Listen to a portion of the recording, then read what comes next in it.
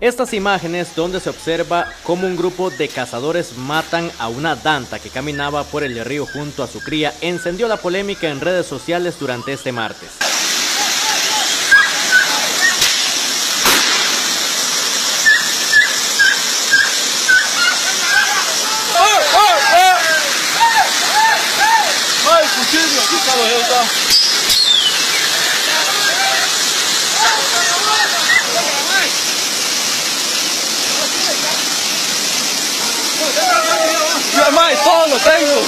Aunque en primera instancia se mencionó que fue en el Parque Nacional Corcovado, las autoridades de este parque están investigando la situación para determinar la fuente del video y corroborar si se trata de un caso reciente o de hace unos dos años.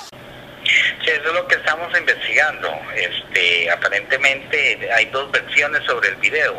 Una es que eh, fue un caso que se realizó en el sector del Pila, atendido por los compañeros del área de conservación La Mesa Pacífico, pero esto no ha sido confirmado, confirmado en un 100%. De igual manera, el tema de que, esta cacería de esta danta se diera en el Parque Nacional Corcovado tampoco no ha sido confirmado. Uno de los problemas que tenemos es la fuente. ¿Cuál es la fuente de la información de este video? Para que nos permita determinar a ciencia cierta si efectivamente esa cacería, esa cacería de esta danza se realizó en Corcovado o efectivamente es un caso que se dio hace dos años. Lo que sí es cierto es que estos animales en los últimos días se están volviendo comunes observarlos en pueblos colindantes al Parque Nacional Corcovado. Este otro video captado por Evaristo Pomares y que también circula en redes sociales lo deja en evidencia. Fue captado en Los Ángeles de Drake. Desde principios, desde finales de diciembre del año pasado y principios de este año, hemos tenido, digamos, la, el reporte de manadas de chancho de montes y también hemos tenido reportes de dantas en varias partes de, la península, fuera del Parque Nacional. Este, hemos tenido reportes en Draque, en Los Ángeles de Draque, hemos tenido reportes también en Racho Quemado. Y entonces, este, obviamente, estos, estos individuos eh, salen muy cerca de comunidades.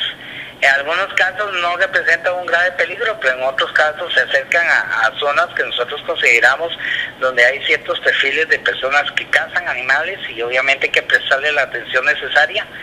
Y este y para estos casos este, ya tenemos que tratar de maximizar los recursos con los que tenemos para poder este, atender situaciones. Casualmente el día de hoy andan viendo un caso específico de, de, un reporte de una danta, andan averiguando a ver si efectivamente también este, hay un avistamiento que se está investigando pero también te recalco que no es fácil, ¿verdad? Porque obviamente en el caso de Corcovado, cuando estamos hablando de 50 mil hectáreas, ¿verdad? Y apenas este, tenemos 12 funcionarios, es un territorio demasiado amplio para poder ejercer un control efectivo. No obstante, este, hemos tenido mucho el apoyo de la Policía Fronteras, con la Dirección Nacional de Policía Fronteras y con la región 10 de Ciudad Navy, donde se han hecho operativos eh, durante casi siete meses eh, en el sector de Corcovado. Según los encargados del parque, en el último mes se registraron dos avistamientos. En estos momentos existe una investigación acerca del destace de uno de estos mamíferos hace menos de dos semanas en las faldas del Cerro Chirripó.